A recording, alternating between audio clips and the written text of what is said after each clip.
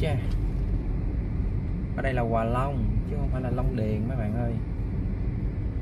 Đường to khiếp. Đây đường. À chắc tới rồi đó. Chắc tới rồi chắc tới rồi đó. Tới rồi tới đây là 8 miếng rồi. Ủa này là dân nó phân ra hả? Ừ, cha đường cũng đẹp quá trời. Đường 17 mét mà vậy là bán chỉ có hai miếng thôi. Đâu bán 4 miếng. Ủa bốn miếng hả? Ừ. Đẹp quá ta chụp hình rồi miếu bà Long Trì. 5 nhân 14 13 5 nhân 14 71 mét vuông 72 mét vuông. Lại bán 4 miếng luôn đúng không?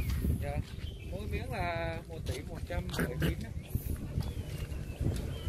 từ đây qua hay là từ cái cột qua cứ 5 5 mét là một miếng.